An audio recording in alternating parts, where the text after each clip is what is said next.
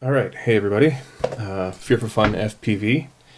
I recently picked up one of these XILO Phreakstyle frames and uh, was really impressed and couldn't find too much online about the build of the frame, so I thought I'd throw something together for you.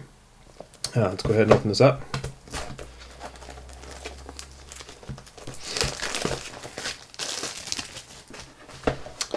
Alright, so in the box we have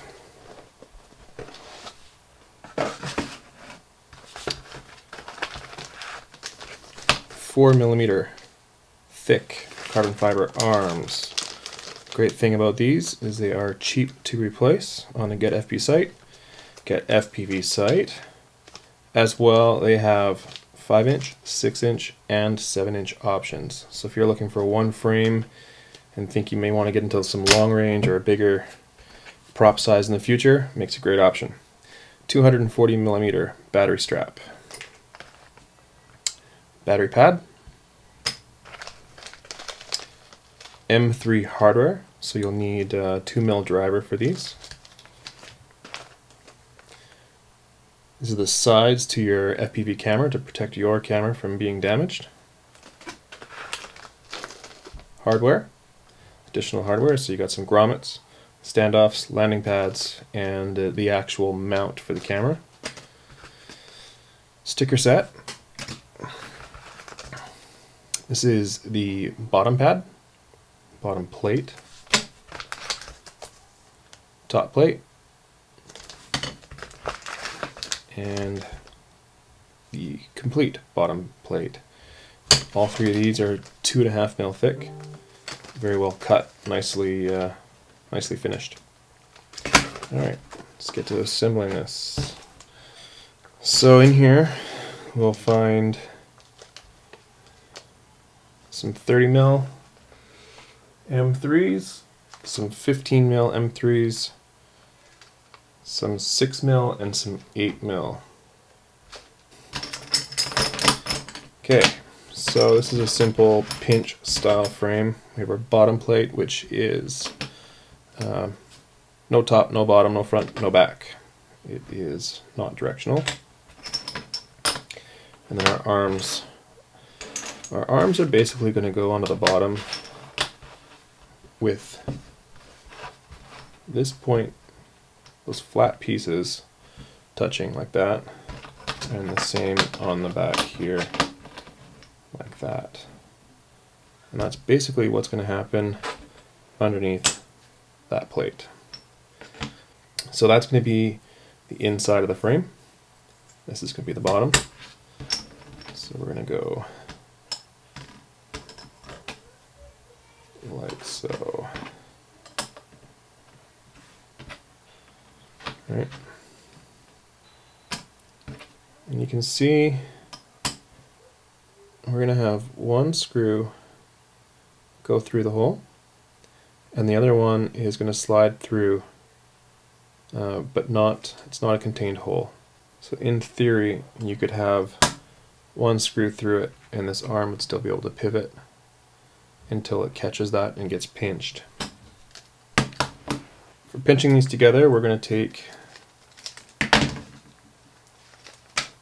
the four, I believe they're 15 mil. And these are going to go through through the top hole, through the arm,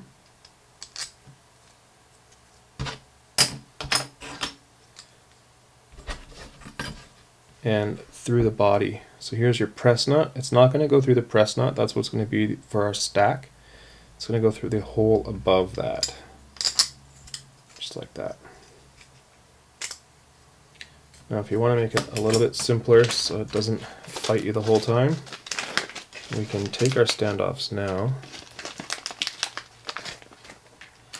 Let's get those, uh, put all in the same tray. We can take our standoffs and we can just catch a couple threads on this back side just to hold it. Now you don't want it too tight that you won't be able to move your arms around. And we're going to do the same thing. Alright, for the second arm, what I found worked best is to hold the first arm, pinch it on the plate, so you have this 90 degree flat piece here. I know it's hard to see black on black, but this piece here, 90 degrees.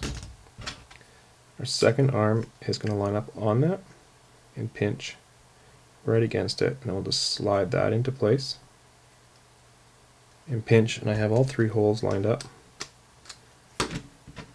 and then slide that M3 through.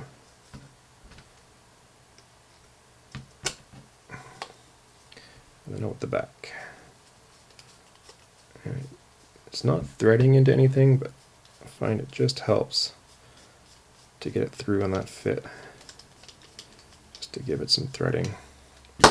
Yeah, and then same on this one. We can just catch the two standoffs. Nice and loose. Okay, so that's now going to hold that bottom plate into position. And we're going to do the exact same thing with these front arms. So line up all three plates, through one, through the second, through the other. Make sure our arm is at 90 degrees here. Slide in the last arm.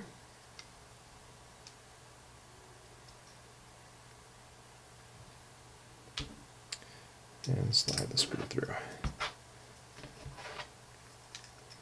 Again, might take some manipulation. My wife says I'm a master at that, so I lost it.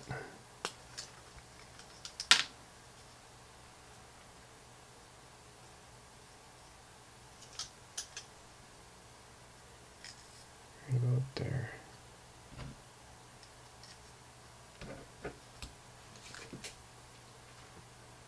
Trying to keep my arm out of your way, but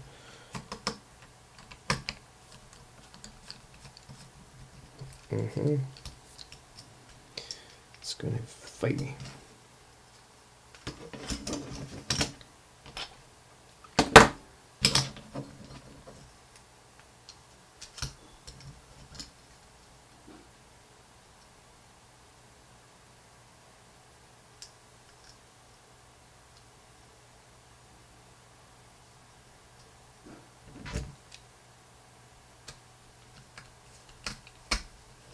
Goes.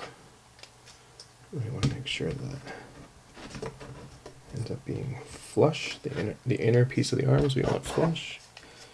That's going to go right through. Block out the other side.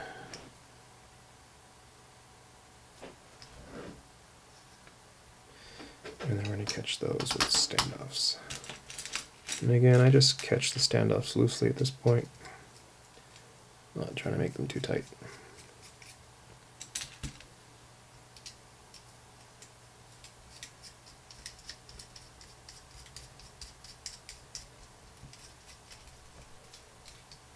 Okay, so that's it for the arms.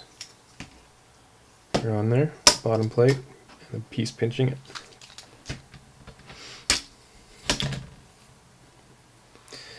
And then uh, we're going to move on to the 6 mil button M3s. And we're just going to catch the rest of the standoffs. So this is the front.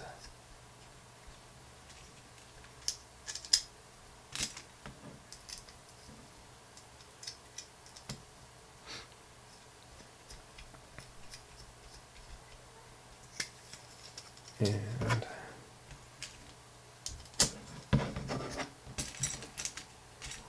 lastly, back.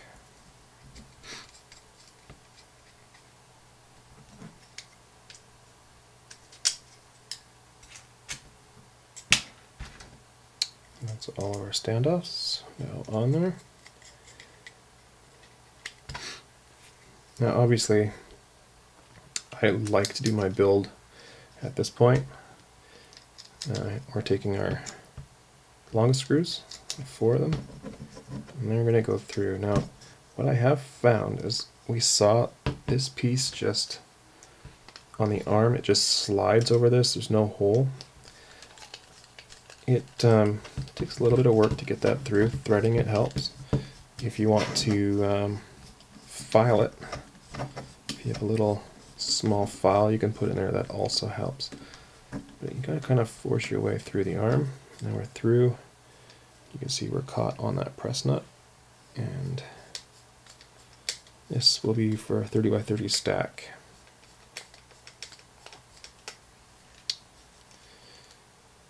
Obviously we're just doing the frame build today, not doing a complete build, so I'll just show you one of these.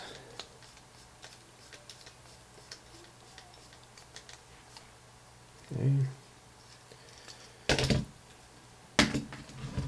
Okay, in, in our large Ziploc accessory pack are these two pieces here.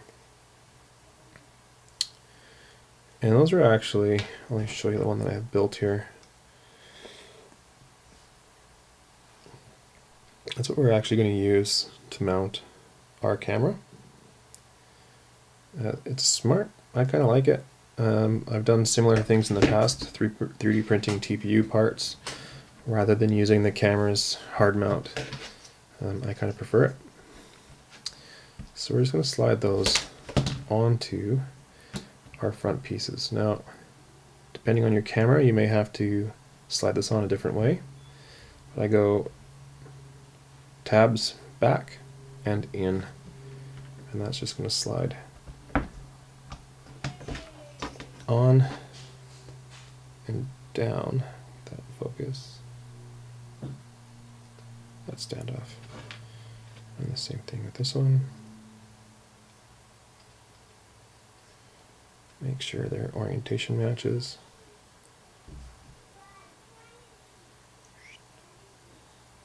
And down. Alright. Now you have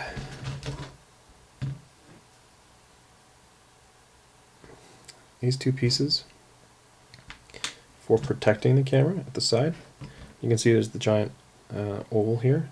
That oval is going to go at the front and it's cut out so that it goes around that camera mount. So if it's too low or too high, I slide that camera mount up so that this piece can slide into the pre-cut carbon fiber tab like that.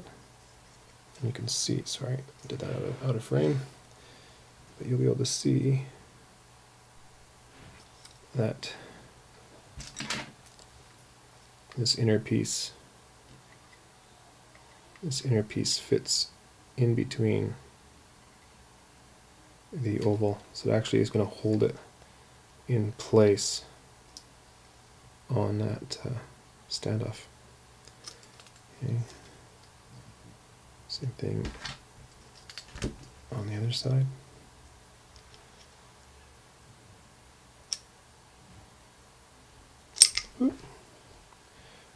Jumping carbon fiber.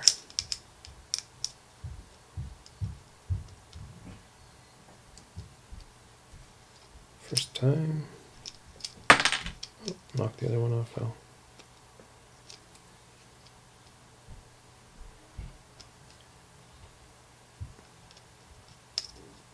There we go. That's in. Knock the other one off. Backwards.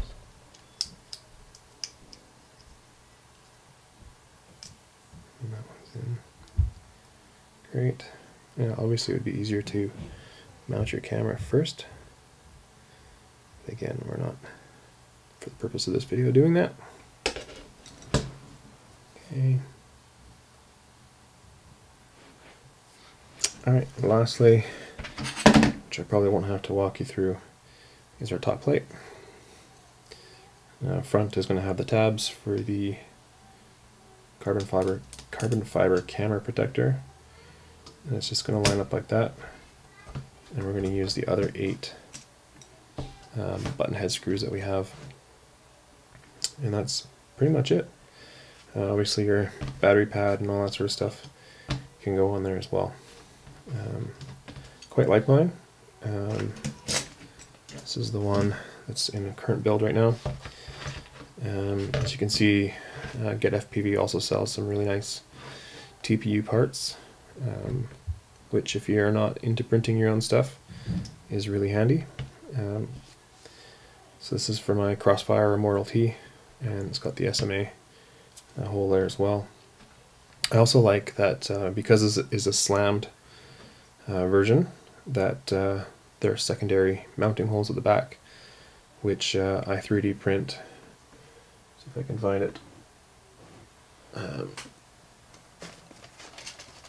I just 3D print nice little holder for my um, Unify Unify HV, which I uh, then pinch at the back, and then I just stick my Crossfire Nano on top of that, and I've got lots of space for that. Um, I believe it also make a really good H, um, HD build. I'll take one of these into uh, our shop uh, and test our test the uh, air unit on there. I don't have one at home to do that. Uh, and then also they sell these nice uh, pre-made. Everyone's got them motor guards. Um, I did take a quick look at Thingiverse. I did see that there were some files on there for Phreakstyle. Uh, I haven't done a print on them yet to see if they fit nicely. But if you're not a designer, can't make your own STLs, uh, there are some resources out there for Phreakstyle. Um, anything else I need to say about that? I don't think so. Um, really nice frame, really happy with it. Can't wait to get out and really bash it. Uh, put it through through its paces and see um, see how it holds up on the long term. But um, build quality, I'm really really happy with, especially for the price point of uh, forty dollars. Can't go wrong. So that will do it for uh, this short video on the build of the Phreakstyle Slammed from XILO, uh, available through getfpv.com. Um, if you tra trace back my uh, YouTube channel, you'll see I don't have any YouTube videos on this channel. This is uh, the first video for Free for Fun FPV. Um, I may transfer some videos over from one of my other accounts, um, but for the most part, this will be a new channel and um, might get involved with some of my uh, film work that I do, uh, heavy lift drones and, and other production equipment that we provide to the film industry, uh, mostly drone related, but not all. Um, well, yeah, so stay tuned. See what else um, I'm going to pop out there. I'm, I do not really know yet where I want to want to take this channel completely, but uh, stay tuned. Have a great day.